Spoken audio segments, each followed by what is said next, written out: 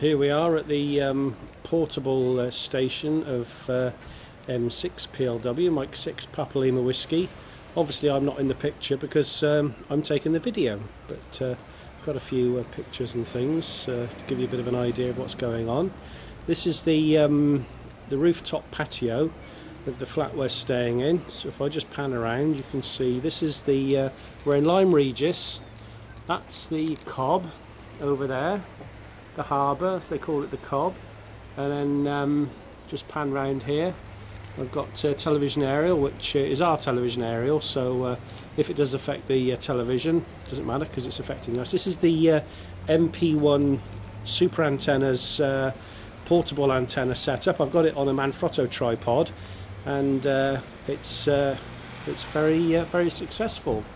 It's um, I've added a few bits to it. I've made the the bottom part slightly longer um, just uh, just because I've got the bits and uh, I've managed to tune it up okay no problems. Working uh, 20 meters at the moment and just had uh, two uh, five nine reports from contest stations in well I'm not quite sure where they are but the um, let's let's have a look at the call signs and then we've got a 5.9 from RG9A Romeo Golf 9 Alpha and uh, Romeo uh, sorry Romeo Golf 9 Alpha yep and Romeo 9 Delta X-ray so it must be uh, some country uh, somewhere with a contest on but uh, both got uh, on that. This is operating 5 watts with the um, Yaesu 817 ably assisted by um, a nice little glass of Merlot there. Well, it was it was full a few minutes ago, but it's not at the moment.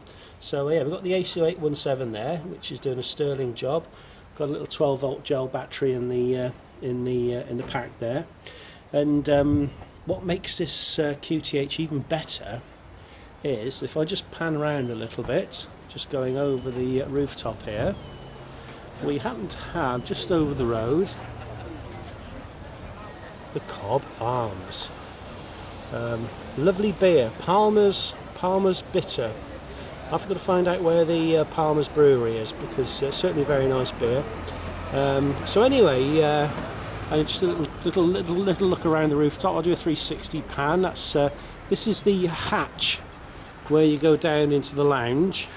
So um, you go down the stairs and uh, well, well, it gives you. I'll, I'll take a shot from the other end in a minute. But that's um, sun's just uh, just about to set now, so it's going down over the hill, and we've got the coast line there. And I'll just walk over to the uh, edge of the wall. This antenna certainly certainly does a, a sterling job. Took me uh, took me 10 minutes to set it up. I've got the um, where are we? Just bear with me a minute. Might go a bit wobbly. Got the uh, got the MFJ there to tune it all up and uh, without that it would be a pretty hopeless task to get it uh, tuned up. So uh, so got that uh, that there to, uh, to get it all set up. And um, like I said oh, it's a nice television aerial. And then uh, we'll end up on the Cobb and then that'll be it for the first instalment. And then um, we'll see what see what see what tomorrow brings. Good evening